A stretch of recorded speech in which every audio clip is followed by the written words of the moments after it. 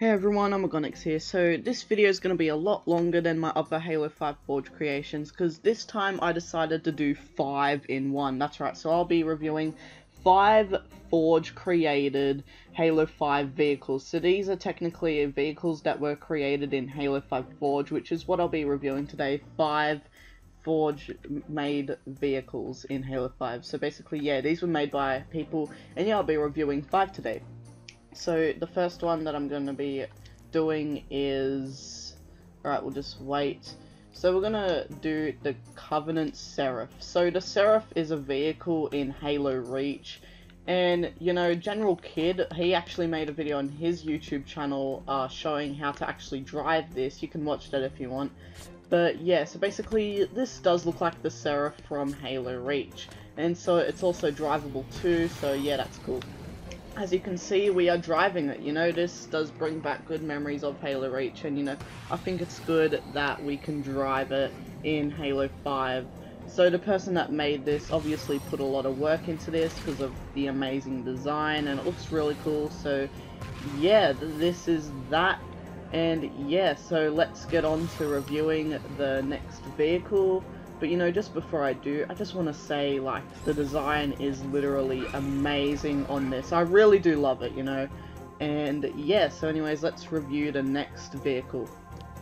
Alright, so this next vehicle is a dune buggy, and as you can see, this actually does look like a dune buggy, you know, I really do like the design, it looks cool, and it's also drivable too, which is something really cool about it. So yeah, you know, if you want to do like a sort of like deserty, sort of like racing map, you know, this would be really good for that, except it's really heavy, as you can see, it's just flipping. You know, it reminds me of the Heavy Assault Warthog, how I did a video on that. A lot of people criticized me on how I repeat myself in that video, but yeah, I really did repeat myself in that video, because when I looked over it, you know, but yeah, um, as you can see, this actually does look amazing, and yeah, you know, I really do like the design of this and overall it just looks really cool. So yeah um it's really heavy like I just said before.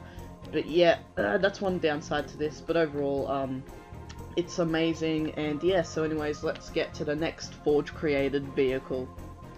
Alright, so for this next Forge creation, we have a Jeep, and this actually really does look like a Jeep, you know, when I first saw it, I'm like, wait, this has to be a Jeep. But yeah, so as you can see, it's got a Warthog meshed in with it, so then you can obviously drive it. And yeah, as you can see, it's a drivable Jeep. The camera is a bit far back, but who cares? You know, this actually looks amazing, and it actually really does look like a real-life Jeep, you know? And overall, this is just really cool, and I like how it drives and stuff. You know, it's very drifty, but yeah, I don't mind it, you know? I mean, I like the driftness of it. But yeah, really, really does look like a Jeep. Like, I'm shocked at how the person who made this make it look like an actual Jeep in Halo 5. You know, like if you're doing a sort of like city map or something, you know you could include this in that. You know, yeah, this is really cool for that sort of stuff. But yeah, so let's move on to the fourth vehicle that we'll be reviewing today. Alright, so next up we have a supply warthog. So this looks like one of those army vans, you know. It looks really cool, you know. It looks like something that, you know, the army people would ride in the back of, you know. And as you can see, there's like little supply crates in the back as well as I'm driving it, you know. And this would be cool for like an army map, you know. And a couple of days ago, or I think it was over a week ago, I don't, I don't remember. But I remember reviewing uh, this heavy assault warthog, you know, and I was saying that that should be in an army map, you know, and if you're making an army map on Forge, you know, this would be really cool for that, so you know, just some ideas.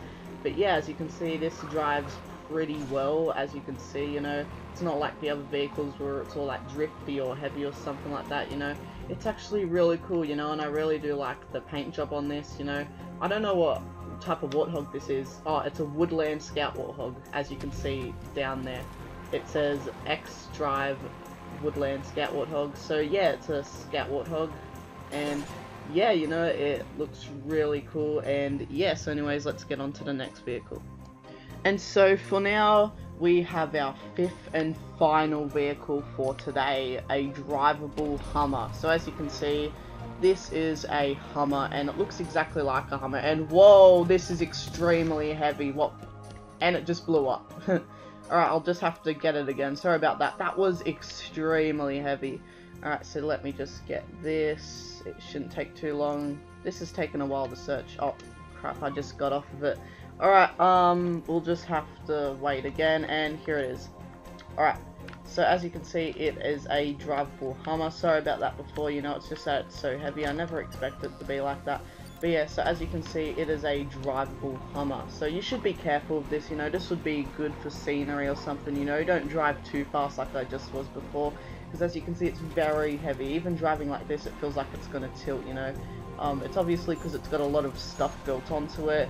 And I really do like it because it actually does look like a Hummer. You know what, I'm just going to get out because I'm scared it's going to flip again.